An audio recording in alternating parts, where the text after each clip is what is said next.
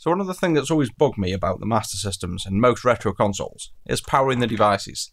There's always a certain AC adapter, sometimes the positive's on the outside, some it's on the inside, sometimes it's a custom connector. It's always a pain to power the old consoles. So what I did last month was to create the clean power for the Dreamcast. This allows you to use a USB-C power brick to power the entire Dreamcast. I've continued that now, and we have the Master System here, so you can guess now that the next one is the Master System Clean Power. So we're going to do the same thing for the Master System 1. We're going to change the old AC port into a USB-C port. So let's get to it and see how you do this.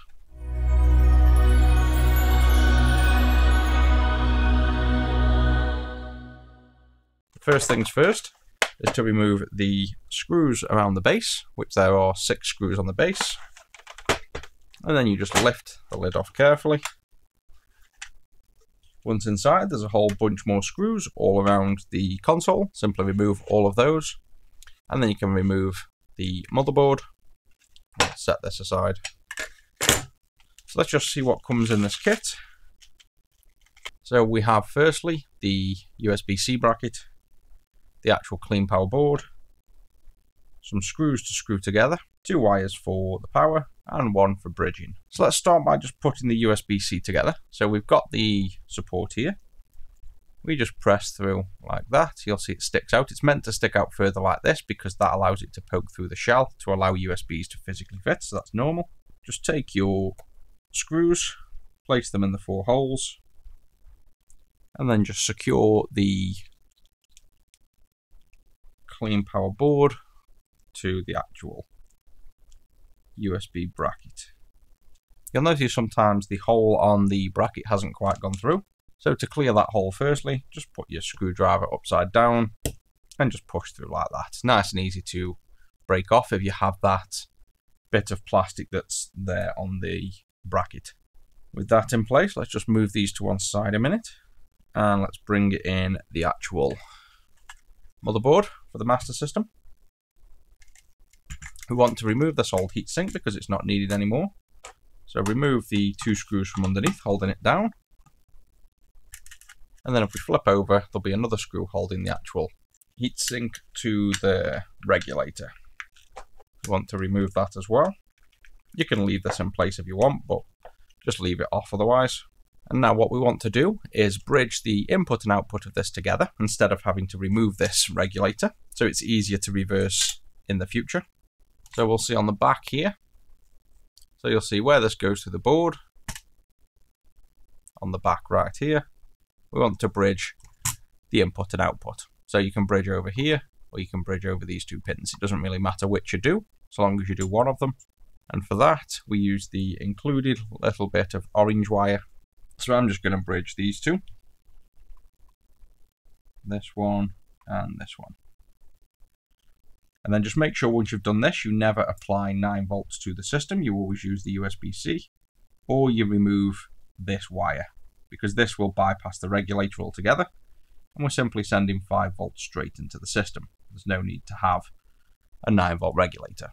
With that on, the next thing to do is to remove the old DC jack so to remove that, we will flood this with solder and then remove it. You can use hot air, but I'll try and remove this without hot air because quite a few of you don't have hot air stations. So I'll show you the way to do it with just solder. So just flood the entire area with plenty of solder. And the idea for this will be to try and bridge all three together like this. So now we can just leave the heat on and we have one big pile of solder warming all three pads. And then it's off. And you can see this come apart in bits. Which doesn't matter because we're not going to be reusing this. But with hot air, you'll tend to find you'll get that off in one go. And with that DC jack off now, the new clean power will just sit over this hole and lock in through this screw thread here when it's in the case. So the only thing left to do is solder in the ground and VCC wires to the ground and VCC pads here. So for that, we'll just take the red and black wires we have in the kit and solder them in place. And then we'll just poke the red wire through for VCC and the black wire through for ground. And now this is ready to go. We just need to solder this onto the board. So I tend to go down here. You can go above the diodes, but there's really no need because this is always the correct polarity and you're just going to get volts drop and energy wasted going through these. So with that in mind, we will just tack on the bottom side and just make sure you've got this the right way. So make sure your ground on your revision, if it's any different, is definitely ground. You can see the ground pad takes significantly longer to warm up and flow because it's a large area. But there we go, we eventually get the ground to flow as well.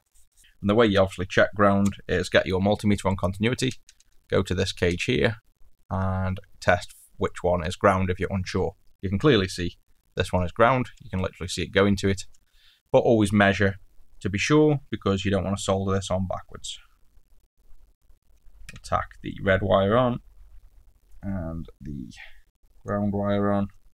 And just remember that ground wire takes a lot longer to warm up because it's a huge ground plane. So make sure you get a good connection. And there we have it. It's now installed and ready to go. And now the final step is to put this back in the case. So take the base and place the board back on the stumps. And all we need to do to secure the clean power in place is use the original screw that went through that hole and send the screw back down. That will now lock in place solid. Place the lid back over. Make sure it clicks down.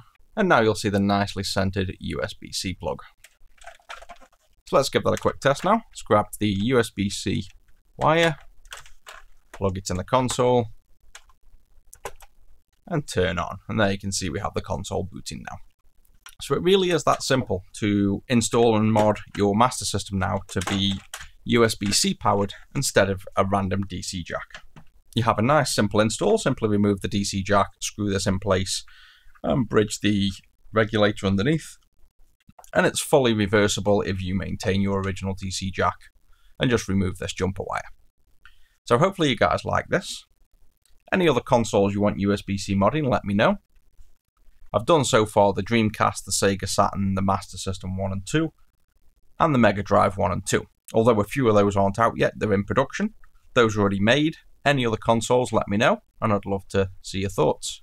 Also, if anybody wants these for free and is willing to do review videos, unbiased, then definitely reach out in our Discord. I like to send these out to anybody who's willing to review them and be honest about them and give good feedback on the Discord server as well as the video. So that's it for this one, guys, and I'll catch you in the next.